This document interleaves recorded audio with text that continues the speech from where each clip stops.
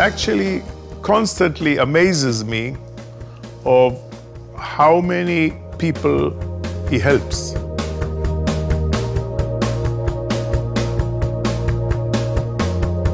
It's got to be something which is new, something which is challenging, and something which will uh, actually improve the lot of mankind. And it's got to be something which is different. If there is an austere subject like that, for which money is available and there's no problem in getting it, I'm not there. I go where, I go where it's difficult to find money for these particular projects.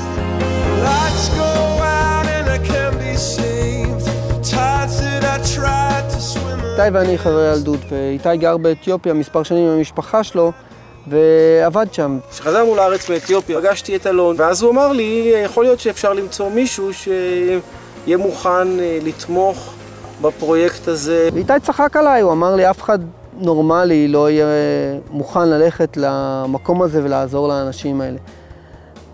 אמרתי לו, אתה צודק, הבן אדם הזה הוא לא נורמלי.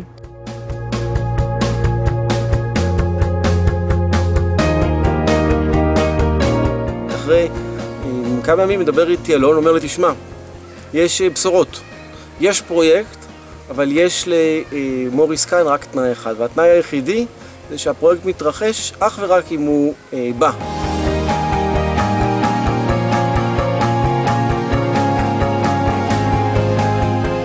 ביום השני למעשה הוא חלה, אבל לא סתם חולה, הוא היה חולה לחלוטין במשך מספר ימים, ואם היו לי ספקות שהפרויקט לא ימשיך, ברגע שראיתי את מצב המחלה שלו, היה לי כבר ודאות שהפרויקט לא ממשיך. הבן אדם, בגילו ובמעמדו, כמעט נפח את נשפטו פה בג'ינקה.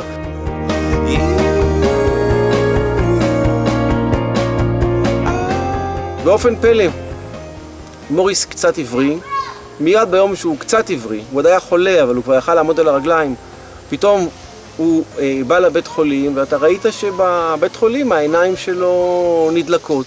יש לו זיק בעיניים. המחלה כבר הייתה מאחוריו, לפחות, אולי עוד גם לפניו, אבל בראייה שלו היא כבר הייתה מאחוריו. והוא התחיל אה, לעשות תוכניות. כל הטיפול הזה נעשה בחינם. לא רק שהם מקבלים את הניתוח בחינם, ואת התרופות בחינם, אלא גם במימון של אה, מוריס וקרן כאן. אנחנו לוקחים את החולים מהבוש, מבקתות החימר שהם גרים בהם, מביאים אותם לכאן, דואגים להם לאוכל, למקום ללון בו במהלך הימים שלפני ואחרי הניתוח, מנתחים אותם ומחזירים אותם חזרה אחרי הניתוח לכפר שממנו הם יצאו בהבדל אחד. הם באו עיוורים והם חזרו רואים. אנחנו כבר עושים את זה חמש-שש שנים, אנחנו כבר מדברים על אלפי חולים. ומאז מוריס בא איתנו כמעט כל שנה. This girl had two cataracts in both eyes. She probably has never really seen properly, never. Hardly walks. He's taken out both the cataracts now. And in a day or two she'll be able to see and then she'll have to learn to actually understand what it is she's seeing.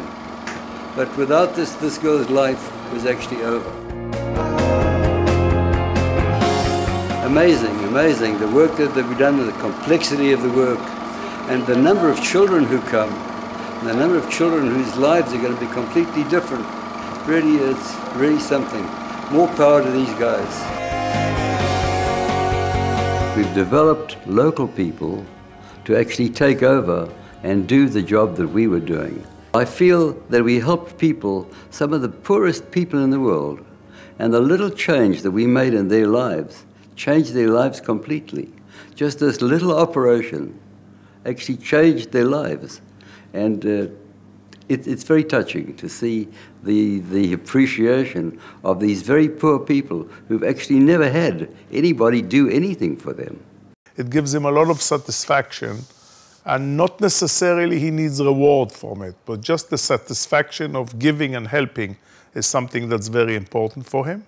I know that I'm doing some good. And I've discovered that sometimes you can do a lot of good with very little money. If you can begin to derive that satisfaction from doing things for other, for other people, you've discovered something great that'll hold you in good stead for life. You know, if, if you just change one person's life, you've done a tremendous thing. And I think that we actually did it to many people. And the satisfaction you, the satisfaction you get, you cannot buy for money. It's got to come from within you, and you've got to give part of yourself. You've got to do it.